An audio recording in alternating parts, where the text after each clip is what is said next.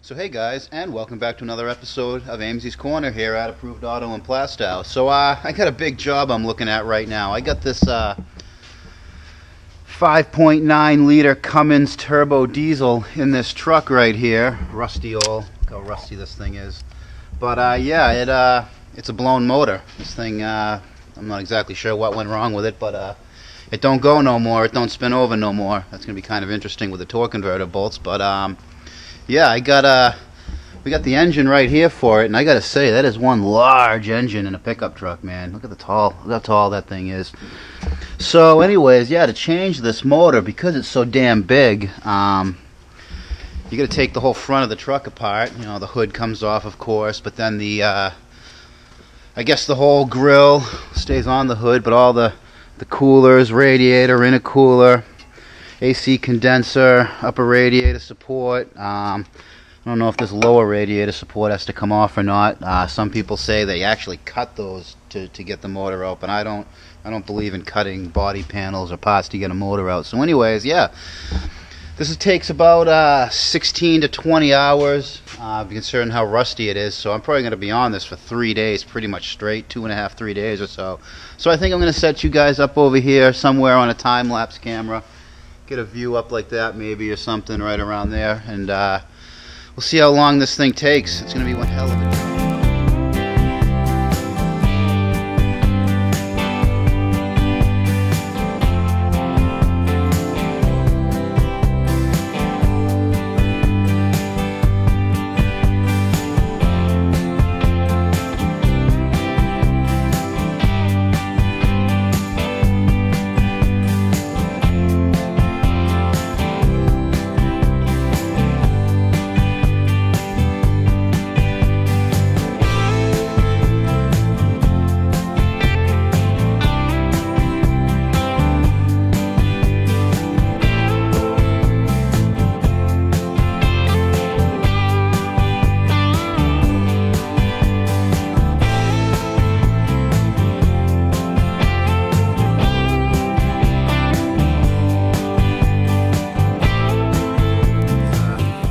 I think I found the problem. I think I, uh, I think I found out what's wrong. Looks like the, uh, looks like the camshaft snapped. That's the, uh, that's the camshaft right up there, and it looks like it broke and took out the side of the block. I guess uh, what happened is this thing ran, had an oil leak. It was burning oil or something like that, and they, uh, they ran it out of oil. It looks like what failed. The camshaft snapped and and that's the end of that. So, well, there's my diag done. Well, time to get some bolts undone.